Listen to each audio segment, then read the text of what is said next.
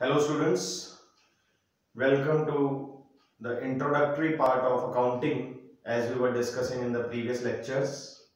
Today again I am here to discuss some terms which will be applicable in our accounting to make us understand and learn that how these terms will be helpful and useful till when we will be reading or learning the subject accountancy. These all terms somewhere or other in our applications will be applicable and it will be made understandable to solve or practice the questions.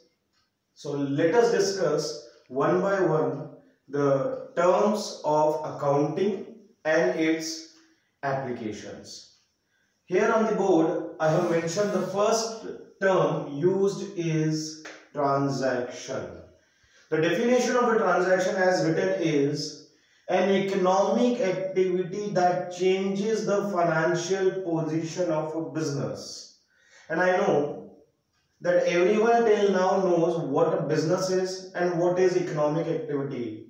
One of my previous lecture I have explained business and economic activity. So I am explaining this transaction, meaning of transaction with the help of example and the example is, I know you might all be aware of today's scenario, the term Paytm, the term Google app, etc. Now what these terms are used for? When you use in your general daily routine purpose, Paytm you see, it is being used to make any payment or it is being used to receive any payment from someone. So the payment made or received and that payment made changes your financial position. That means it changes the cash balance of your business. Is said to be transaction of a business. Or anything which you receive from someone the money received will increase your cash balance. So it is again the change in financial position. So transaction here means the change in the financial position. Now let me make you clear students. The change in financial position does not means immediately the change in cash. It may also mean that the transaction had been done whose money may be received in future. Let's take an example to make it more clarified. Suppose Mr. A purchased goods from Mr. B. Mr. A purchased goods from Mr. B. So for A, what will be a transaction? That if A has purchased good, he will also make payment. And if the payment is made in cash immediately, it is yes, a transaction and if he purchase goods on credit credit means udhar. If he purchase goods on credit he will in near future make the payment. But if the payment will be made by mr a it will decrease his cash position in future. But still the financial position is being changed. And now i hope it is clear that transaction is the change in position of your business activity. Is it clear? Okay. Now let's see the second term which is capital. Capital is the money invested in business to start. Any money which is being invested or introduced to start is capital for example, A is a person who wants to start a business and he introduces rupees 5 lakh in business. So the money introduced by A rupees 5 lakh is treated as capital.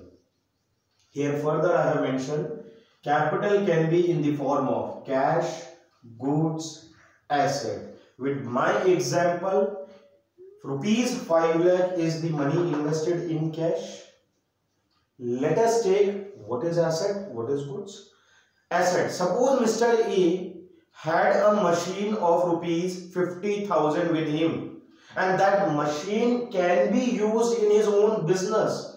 So the machine which he will bring in business is also treated as capital because that machine is being introduced in business at the time of its start is again capital. Clear? Okay. The third term I have written here is liability. In a very simple term, I hope it will not be so easy, but I am trying to make it easy because you will be reading these terms for the first time. And once you are clear, these applications or these terms will be used in your questions when we will be solving them in further classes. The term liability.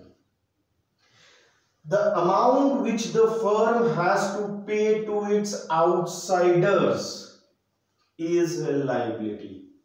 Very simple to understand. Anything which a business has to pay. Pay to whom? To its outsiders who are apart from business जो business के बाहर वालों को payment करना है वो सब business की क्या कहलाती है बेटा liability I have mention an example here let us read and try to understand suppose goods are purchased from mr a on credit credit is udhar and payment of such will be made in future future time period is not defined but it has to be made might be after 10 days after 15 days after one month or more than a month to be made in future is liability for a business till the payment is made until unless the payment is made to Mr. A by the business or the proprietor of a business will be a liability for a business. Is it clear? Will be a liability for a business. My liabilities are categorized into two basic parts. The first one is internal liability. The second one is external liability. I will explain what are internal and what is external. Internal liability is the liability which the business has to pay to its owner. And whereas external liabilities are the liabilities which the business has to pay other than the owner that is outsiders who are not part of business insiders but they are outside the business. Furthermore, External liabilities are further classified as current liability and non-current liability.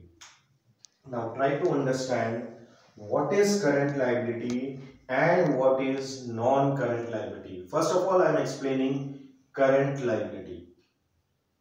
I hope you are all clear till now. Liability, the payment which the firm will make in future is a liability. Okay. Now, current liability is a liability which has to be paid in one financial year or accounting year. In one accounting year, in one year, any payment which will be made by the business is categorized as current liability.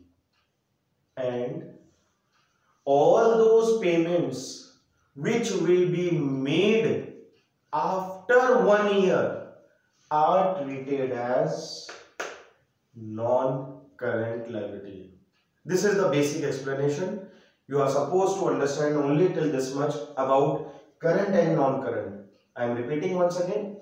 Current liability are the liabilities which are to be paid within one year and non-current liabilities are those liabilities which are being paid after one year.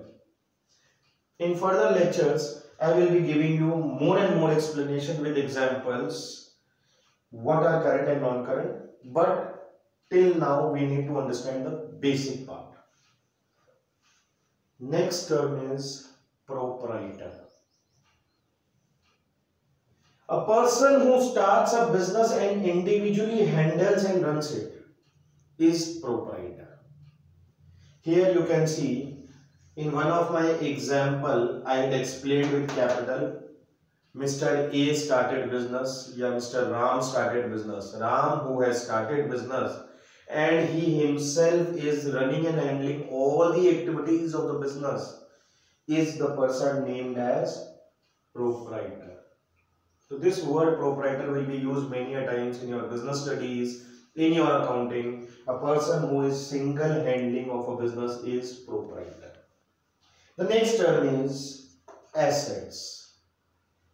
The meaning of asset is anything which is in possession of a business enterprise or the benefits which will be arrived from it are treated as assets. Let us focus this uh, statement once again. Position of a business enterprise.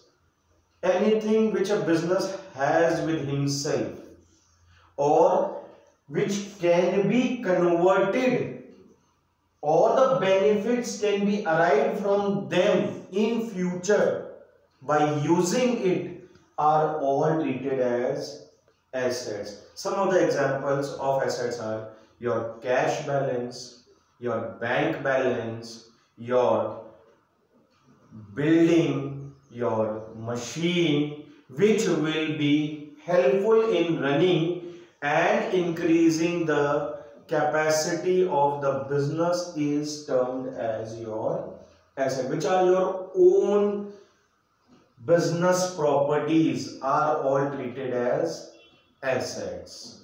Further, I will explain the categories of assets.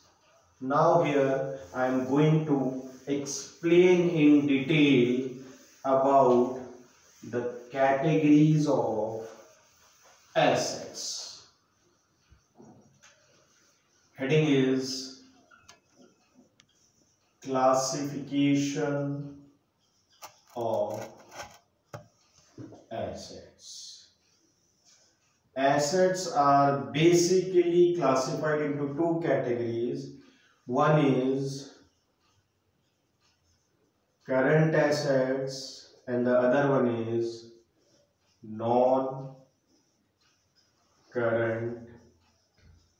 assets. Before moving ahead, let us understand current asset and non-current asset. Current assets are those assets which are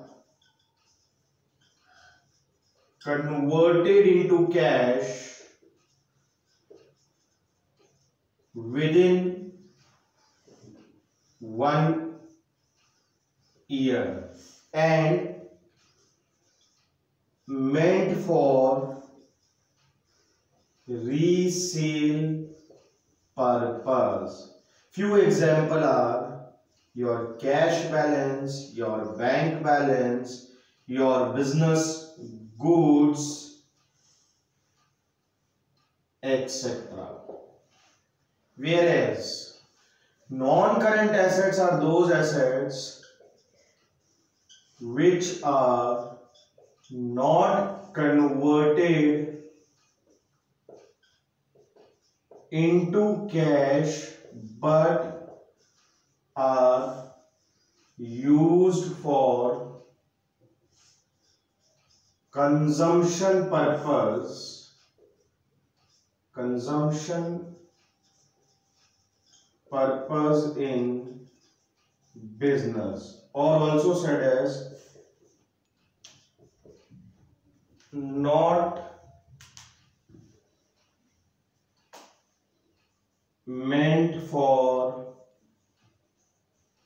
sale purpose. Few of the examples are your building, your furniture,